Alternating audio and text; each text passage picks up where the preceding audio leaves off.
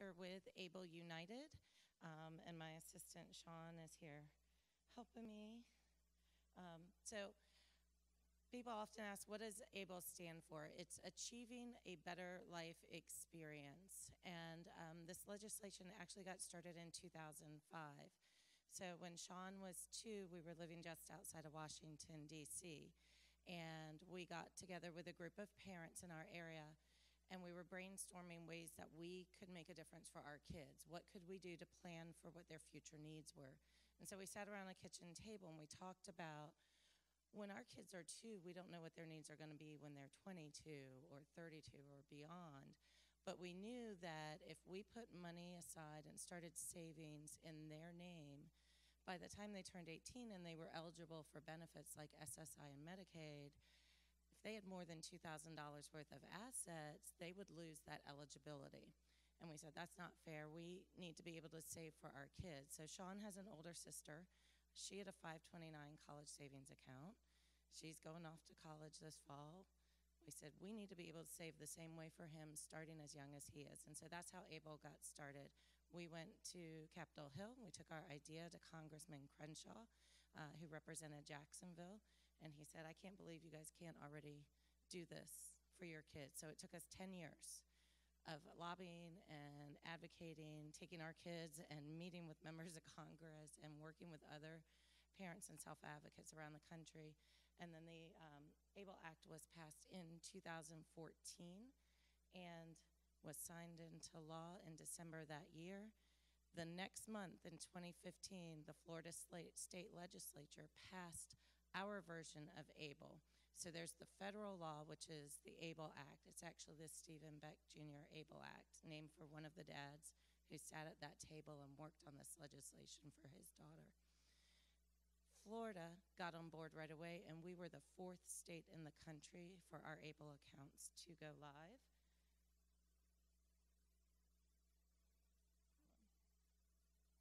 So in July of 2016, Sean became the first account holder in the state of Florida which still gives me goosebumps. so, and I tell people that story because I want you to understand that this is something that came from parents seeing a need for our kids, but also recognizing that things are very slow to change. So, that $2,000 asset limit has not changed in 40 years. Um, there is legislation currently to raise that, but we all know $2,000 is nothing. And so the ABLE accounts will allow people like Sean to save and invest their money tax free. He still gets his SSI payment every month, but we're not having to spend down the money that's in his checking account just to keep him under that asset limit. Um, so Able uh, United, which is Florida's uh, Able accounts, is under the Florida Prepaid College Board umbrella. We are a nonprofit organization under that state umbrella. Um, there's some tremendous information. I'm going to let you guys read that because they've updated my slides, and so this is new to me. Um, talking a little bit about Florida Prepaid. I'm going to move on though. Um, so that's Sean up in the top left picture. The young lady on the bottom is Wendy. She uh, was using the money in her ABLE account to save for an accessible vehicle. Okay everybody's got different needs, and that's one of the things that's really great about ABLE accounts is that I can say for what Sean needs, which is different from what other people are going to be able to use their money for. So, who is eligible? So, nationally, you must have been diagnosed with a disability that's a qualifying disability by the age of 26. Does not mean you have to open your account by the age of 26. We have adults in their 30s, 40s, and 50s who are having accounts open. You just have to have received the diagnosis of the disability. For the Able United accounts, you do have to be a Florida resident at the time that the account is opened, but you can move out of state. Everything is accessible through the secure website 24 hours a day, seven days a week. So you do not have to worry about if you're moving out of state changing plans. Um, there are able accounts that are uh, live in almost every state now. Um, some of them do accept residents from other states. Florida is a little bit unique in that um, we have done away with things like the Medicaid payback provision, and we have no enrollment fee, which are things that other states do still have in place. So I was talking to somebody yesterday. Able Now is the Virginia plan. They accept people from all over the country into their plan, but they have fees that we don't have. So that's why I would say Florida's a little bit better. Um, if you're receiving SSI or SSDI, you will automatically qualify. If you're not sure if the disability is listed, we have a really good eligibility wizard on our website. And on the back of uh, the little book that Sean handed out, the website is on there, um, and it's got some more of the information. And when they talk about that the disability has to be severe, I give people the example of sometimes you'll be in maybe a foot cast or something for six months. That's not somebody who'll qualify um, for an ABLE account. Okay. So there's the list of qualifying disabilities. It's quite extensive. But even if what you're looking for is not on there, there are other ways um, that you may be qualified. And again, the eligibility wizard is the best place to find that. Um, if the person with a disability is under the age of 18, you're going to self-certify. I did not have to provide any um, chromosomal testing that to prove that Sean has Down syndrome um, to be eligible for it for the ABLE account. And if you guys have questions, you're welcome to stop me midway. I know I'm talking a little bit fast, um, but that's because I'm trying to keep us on time. But feel free to ask questions.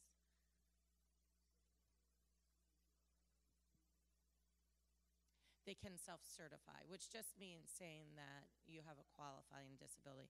One of the disabilities on this list, um, I've had people ask me things about like a learning disability. A mild learning disability is not going to qualify. It's generally the disabilities that would qualify for those federal benefits through Social Security and some others. They've expanded it a little bit beyond that. But the, the, the whole intention of the ABLE accounts is to really help those people who are going to be receiving benefits like that to be able to save that money and not have it count towards benefits. So if you're not qualified for the benefits, and sometimes people aren't qualified until they reach 18 because they're under family income. Um, he didn't qualify until he, you know, he qualified for the ABLE. He didn't qualify for benefits. Okay, so Sean is the owner of his account. Yes, he's giving me the thumbs up. He's like, yes, that's me. Um, because he was under the age of 18 when the, his account opened, I was the administrator of the account. I remained the administrator of his account. Um, you can also be the legal guardian, a guardian advocate, have power of attorney, or the last one that they um, just added with IRS is if you're the representative payee for somebody or the authorized legal representative for them, you can also open the account on their behalf. Um, we know that there are some individuals with disabilities are able to manage the accounts completely on their own um, because we're not talking just intellectual and developmental disabilities or cognitive, we're talking physical disabilities that qualify as well. Um, so if the person is able to manage their own account, they absolutely can do that.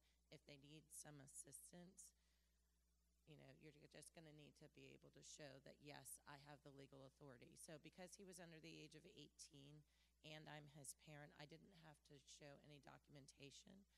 Because he's now over 18 and he already has the account, I haven't had to supply any because I'm his parent. And so they are looking at only new accounts are open if you're over the age of 18. Would you need to supply that documentation to say, yes, I have the legal right? Um, because in the eyes of law, when he turned 18, he was legally able to make financial and all other decisions on his own.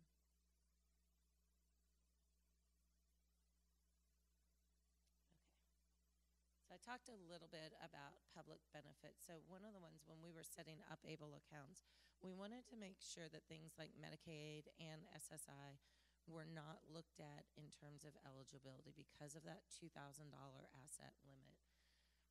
Originally, when the federal act was written, it said that Medicaid could claim on the um, account holders passing, they could come back and claim payback for benefits that were paid on behalf of that individual from the time that they had their account open. So if Sean was 18 and then he passed, Medicaid could come back and seek to reclaim a portion of those benefits. This is one of the areas where Florida has done an exceptional job. Last year, we passed a permanent moratorium on Medicaid seeking to reclaim those benefits. They're not doing that for other beneficiaries. We said there's no reason that because their money is held in the ABLE account, that they should have to repay those benefits on their passing. Um, anything that's left over that hasn't been expended. So if you open your book, and I'm going to go over this another side, but sometimes I like to cover this here. Um, right in the middle, and there's a list of categories that you can use for qualified disability expenses. Um, because we're talking about if, if and when the, you know, when the individual passes, you can pay for funeral and burial expenses out of their ABLE account. Okay. My intention is that whatever is left in Sean's account, we will use to pay off any medical bills he has, funeral and burial expenses, and just to pay that money down so that we don't have to go through probate or anything else. Um, generally, if there's, anything that's left over, it would go to his estate, and then you do have to go through the probate process with the courts to determine what's going to happen with that. So it doesn't automatically just revert to the bene- the beneficiary that's listed. You do have to go through that process and then you would be able to get it. My intention would be, you know, really to take care of whatever I needed to um, before or as soon as he passes so that we can get around that.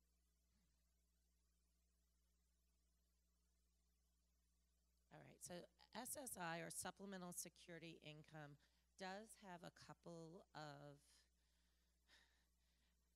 kind of interesting things with it. So when your ABLE account, if it were to reach a hundred thousand dollars in funds, anything above that would be considered an asset for um, Social Security, supplemental security income. So if you go above a hundred thousand in the account, they will start reducing the amount of your payment. They won't eliminate it totally, but they'll reduce it. So I've told people, you just need to make sure when you get to that level that you're spending money down on the account so you don't lose any of it. And the reason that they have this in there is that they did not want people who were very wealthy using ABLE accounts as a tax shelter and, and still drawing government benefits from it. Uh, I will tell you, we opened his account in 2016 and we are nowhere close to that. Um, I wish that we were, but we're not. Um, everything that's drawn out of the account needs to be spent in the same month. So if Sean's going to pay, so he pays rent to us now that he's over the age of 18. His sister does not. She needs to get on board. She's 21. but Sean, if he's going to pay rent to me out of his ABLE account, if I draw it down out of his account at the end of May to pay the June rent, I have to pay it before the end of May. If I take it in from his ABLE account and move it into his checking account at the end of May, so May 28th, and then I don't pay that rent until June 3rd, it will actually count as income according to the Social Security Administration. So that's one of the rules that they put in place. You just need to make sure if you're paying expenses, you pay it within the same month so that SSA won't look at it as income. Um, because we were finding that people were bringing money out and then holding on to it for a week or two right at the end of the month. Um, there have been a couple of cases that I've heard of that people have talked to their um, Social Security caseworkers, and those caseworkers from Social Security have said, no, you cannot have an ABLE account and get benefits, which is not true. Um, they've actually written, written a procedure operation manual, which is on our website. I have talked to, I think, at least four or five people who have had this situation where at the, at the local levels of Social Security, they do not know that ABLE accounts are not considered when they're looking, when we're looking at assets, um, or that they have to spend the money out of their place. Um, so Social Security in DC has actually written this POMS to instruct its field officers on uh, what the actual procedures are.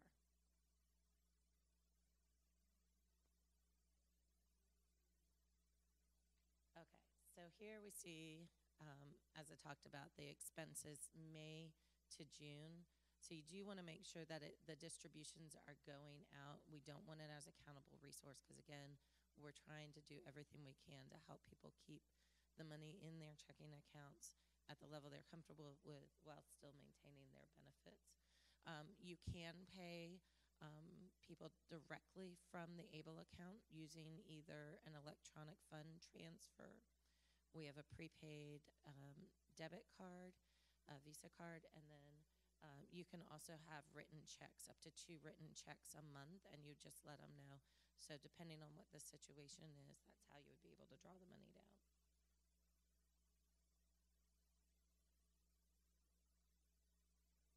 Okay. And again, this is where it's talking about if you have over a hundred thousand dollars in your account, what would be the limit and how it would be effective. So again, you would just want to spend some of the money down out of your ABLE account when you get to that level. It will take a while to get there. Um, the contribution limit per year is sixteen thousand dollars unless the individual is working. If they're working and not participating in a retirement plan, it's twenty-eight thousand eight hundred dollars. So if Sean gets a part-time job and starts working, he's not eligible for 401k. He can, we can raise his contribution limit for the year. Again, even at that level, it's going to take us a while to get to a hundred thousand.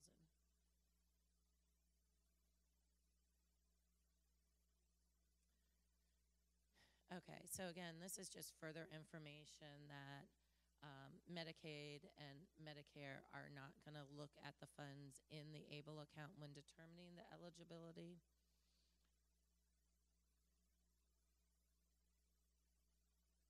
Okay. And where it says that the states have the discretion whether to file a 529A claim against the ABLE account for the Medicaid buy-in, again, that's where Florida has put the moratorium on that so that Medicaid cannot come back and seek uh, repayment of those benefits. Okay. So SNAP and HUD for housing also have said we're not going to look at the funds in it. And, you know, we point this out because there are a lot of programs that are, you know, like he became eligible for that I wasn't aware when he turned 18 that all of a sudden he was going to have the option to have this. I have friends who've utilized HUD for their young adults to be able to get affordable housing for them so that they can live independently. And again, you can have money that you're saving um, in your ABLE account to be able to pay for either a down payment or to help make monthly rent payments coming out out of there without it impacting their ability to also receive um, Section 8 vouchers and, and other assistance. And so this is a fun one because we had to do a FAFSA for my daughter, which is, of course, you probably are all familiar with it. Very lengthy process to go through to try to get any type of federal aid for post secondary. Um, they haven't officially announced anything, but again, we would expect that it would be right in line with everybody else. So if you have students who are filing for FAFSA that have an ABLE account, that shouldn't be considered as part of their income when determining the level of their FAFSA award. All right. There's Sean. Sean's all over. You'll see him. They like to put him up on the social media and all. Um, it really takes only about 15 minutes to open an account on online. Um, this was very intentional. We wanted to make it something that parents could do, or loved ones could do, or individuals from wherever they are comfortable at the time that was right for them, not have to make an appointment to go to a bank, um, not have to have a lawyer like you would for a special needs trust, but to be able to set it up and do it yourself. So you've got to have the so- their social security number um, and all the rest of this information. You only need $25 to open the account. And I think that's important for people to understand because you start thinking, I'm making an investment, I've got to put a lot of money in, you don't. Um, and I will say, Able United is fantastic about running promotions regularly where they will contribute to your account. Um, sometimes they'll put $50 into your account. So if you go on the website, just check to see if they have any promos that are going. They had one that just ended um, June 30th where they contributed $50 just for anybody who opened an account. They're trying to encourage more people to open the accounts, and so they'll run these things periodically. Um, the page after the center of your book um, goes over the investment options. I'll have them up here, but I find it sometimes nice to be able to look at it um, a little bit closer if you're not able to see it well.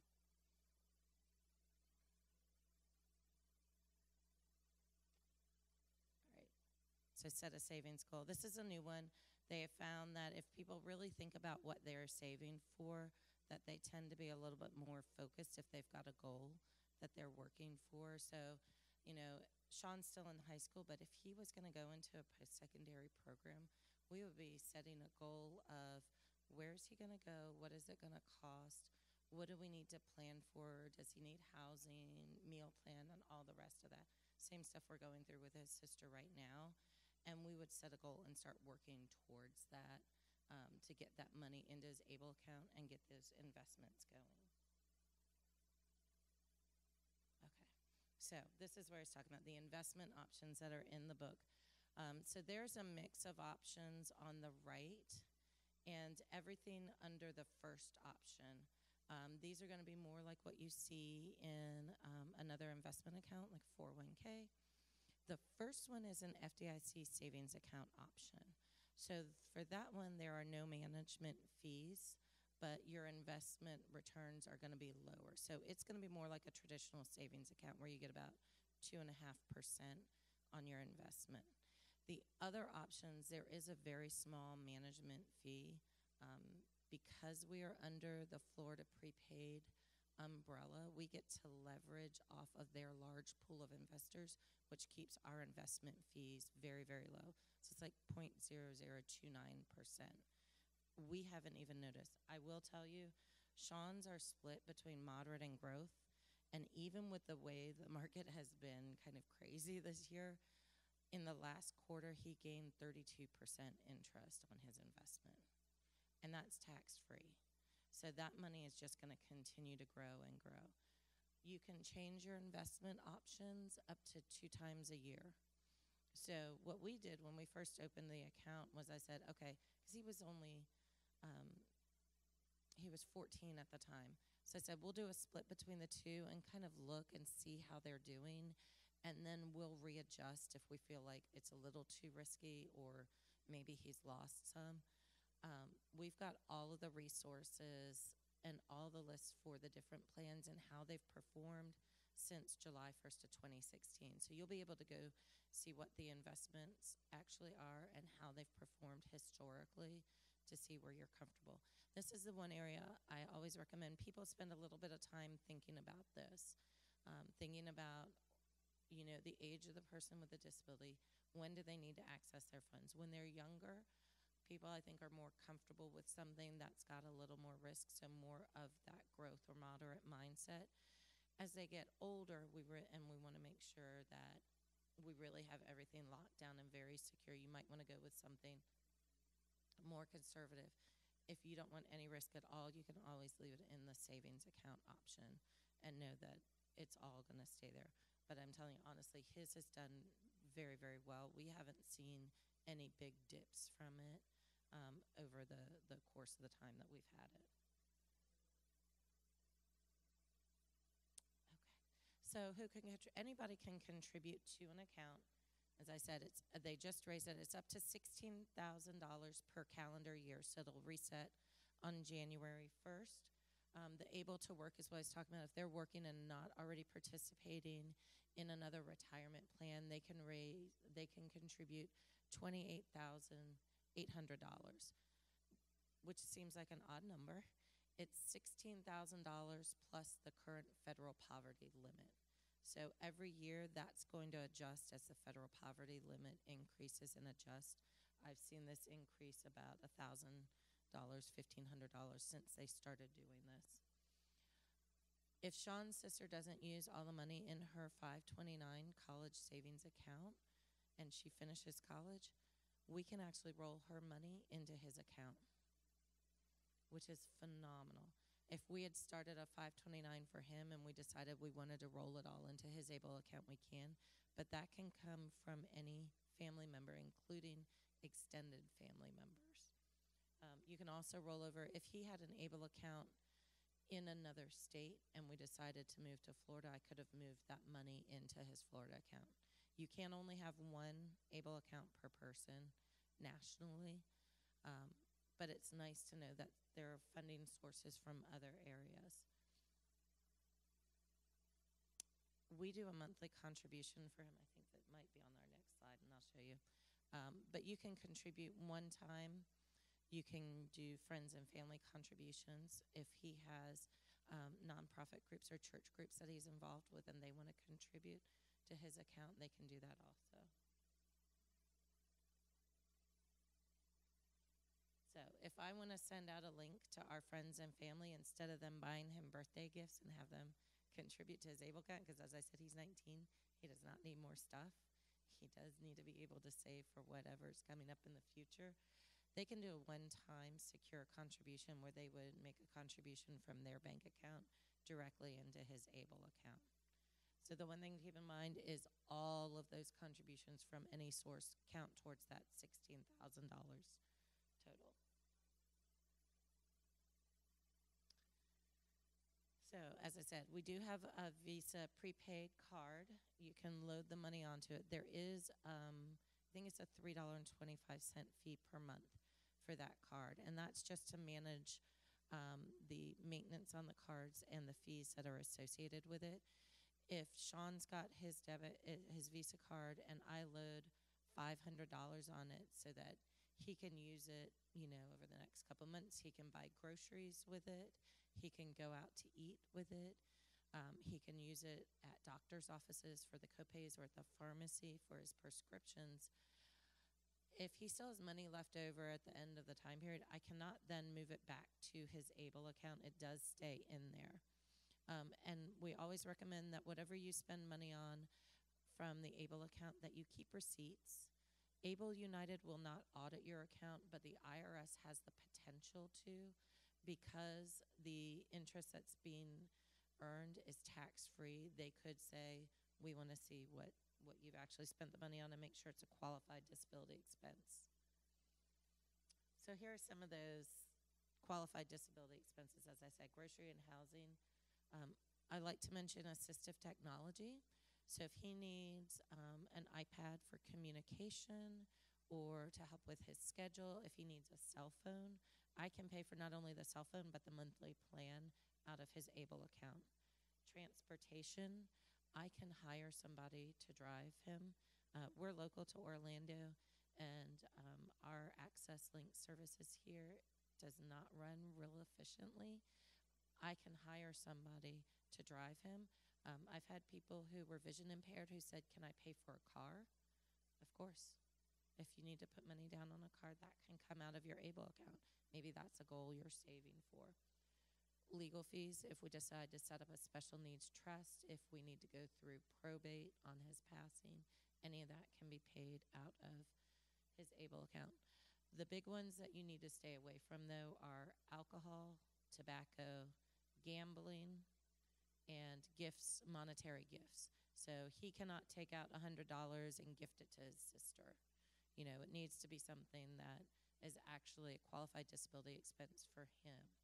Um, they will charge you a penalty if you take money out from one of those things. But again, like I said, keep receipts. Um, most people, I think, have a pretty good idea of what fits within these categories. It's very broad. When we wrote the legislation, we said what's right for him is not going to be right for everybody else. We don't want a laundry list of approved expenses because things are going to change. Look at technology just in the last 10 years. You know, being him being able to use an iPad at school makes such a difference. We wouldn't have been able to do that years ago. So that's why it's very, very broad. So this is where I always tell everybody this is the best news that I can share because as I talked about, there are ABLE accounts around the country. Some of them have an application fee when you sign up for the account and have an annual maintenance fee in addition to any investment fees that are in there. Florida has decided with Able United that there will be no application fee and no annual fee. Um, I actually was with the board of directors a couple of years ago when they were talking about this. We were only about a year into the accounts, and they were trying to figure out, you know, what can we do? Can we make sure that our costs are covered? And they said they thought it made sense not to have any of these fees because it would only encourage people to open the accounts and invest with them. They do require the $25 minimum contribution because they want to make sure that you actually have put some money into the account. After that, it's up to you how much you put in and when you put it in. If you choose to get a paper statement as opposed to the emailed statement, they will charge you $10, which I learned the hard way when my email address changed and I forgot to update it with them. And all of a sudden, we had a paper fee. Um, I'm sorry, the prepaid card's 250 a month for the Visa card. And then there you see the register, the um, administration fees. All right, before I get into this, does anyone have any questions?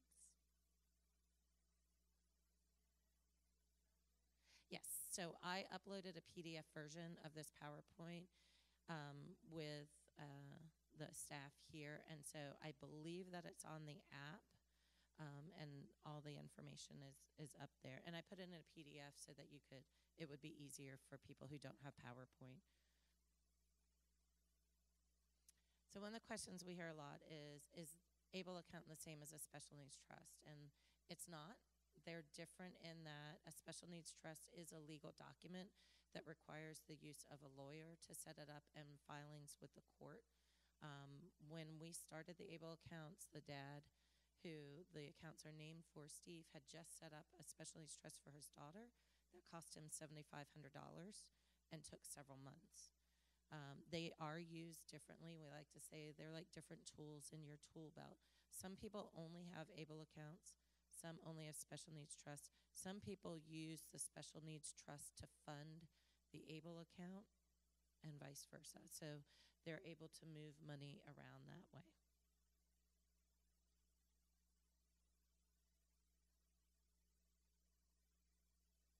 So there's my good slide on the differences between special needs trust and ABLE accounts and how you can do it.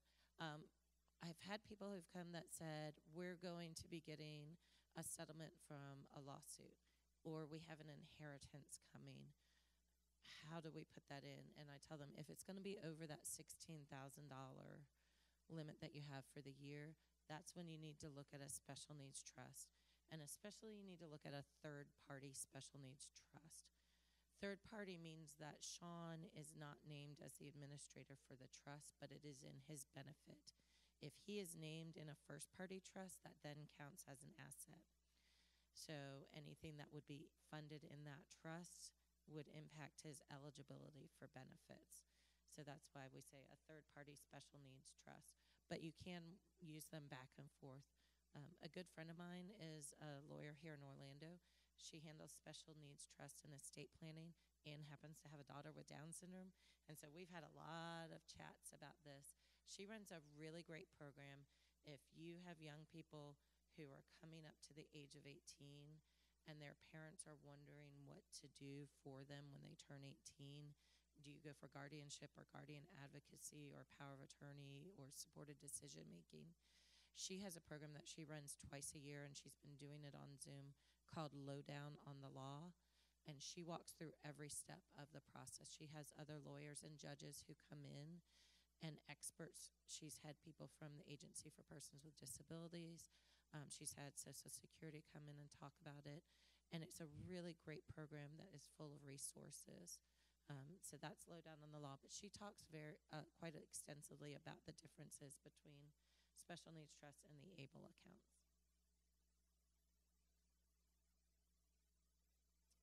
So as I said earlier, if you move out of state, you can still keep your Florida ABLE account You don't have to close it just because you've moved out of the area, because everything that you access is going to be online on the website.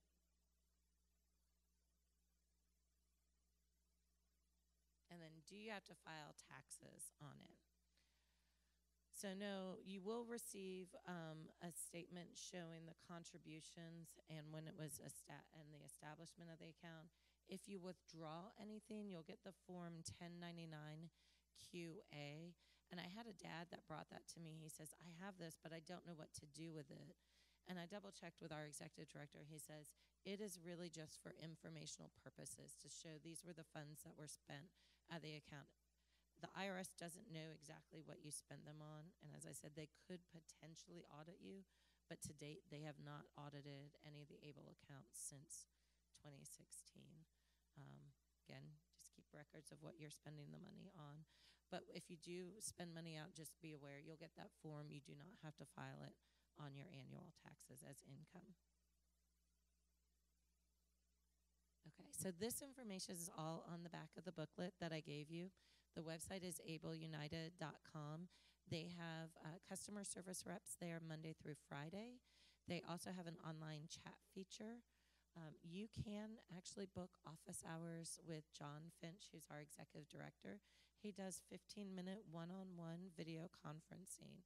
And I've talked to a couple of the folks here yesterday about that. I said, if you have students that are really interested in this or parents that really want to get maybe a little bit more in depth on something, that's a fantastic resource. John's a great guy, um, and he has been working on Able accounts since they opened, so he's extremely knowledgeable about them. Um, and the phone number's on there. It's on the back. Um, there are Spanish resources that are available. We also have um, this little booklet, which is a quick start guide in Creole as well. And so all of that's on the website if you have any more. Yep. So if he's working and he wants to take part of what he's earning and put it in his able account, you know, he's going to get a better return on that investment. Um, even if he's in the FDIC option, than as opposed to just sitting in a checking account, um, and especially if he's looking for a down payment, you know, if he wants a larger down payment, you'll be able to put it in there, and it won't count towards his social, sec- you know, it won't affect his social security benefits at all. Um, and that's one of the things he can he can pay for the down payment right out of his able account. Right. Um, I know that Sean can work, but as long as we keep what's in his uh, regular checking account below that two thousand dollars, he's still going to be able to maintain his SSI. It depends if he's getting SSI or SSDI. SSDI is that you get both. So SSDI, I do think is impacted because I have a friend who gets it and she has to monitor how much she's working because they don't want you to have a full time job. Because with um, so SSDI is Social Security Disability um, Insurance, it gives you that little bit extra if you're not able to work. Um, but you do have you are limited on, I believe, either the hours, the amount of income that you can work, and still receive SSDI. So if he's working full time, I could see. Okay. I would look at because if he's got is he and he's over 18. Okay, so I would look at where his you know checking or savings account or whatever accounts he has, where they are. If some of that could get moved into his able account, and I would go back to um, Social Security and ask for a review because that may be what triggered it. Because if he's not working full time, he should still be able to get it, uh, the SSDI even. You're welcome.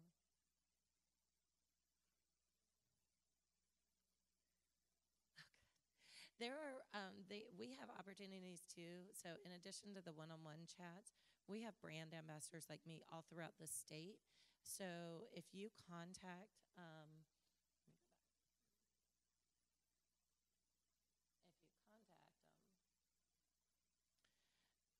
they will do um, a webinar for you or a video presentation. If somebody's not able to come out and be in person, they have that opportunity. I've done it multiple times uh, when we weren't able to meet because of COVID um, and been able to talk to, I've talked to local private schools.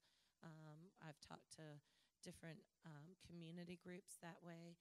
Um, so they have both brand ambassadors and the Able United staff who will do that. And I think it's a great way. You know, they go through mostly this presentation, but then you have the one-on-one. But if you're looking for something to share with other people, we also have webinars that are on the website um, that they have not only this presentation, but more in depth on special needs trust. Um, they just did one on the Able Trust, which I know was here also yesterday, and a little bit more in depth in certain issue areas.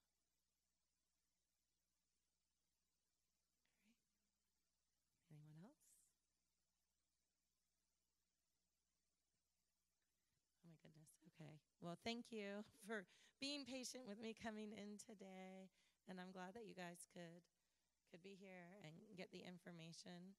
Um, if you have questions afterward, go on the website. If you want to get to me directly, you can also go through the website and just let them know, um, and they'll be happy. I'll say stay around for a few minutes. Uh, Sean will be happy to entertain you as well. He's like, yes, I'll just go sit and hang out with everybody. It was good. So thank you guys for coming.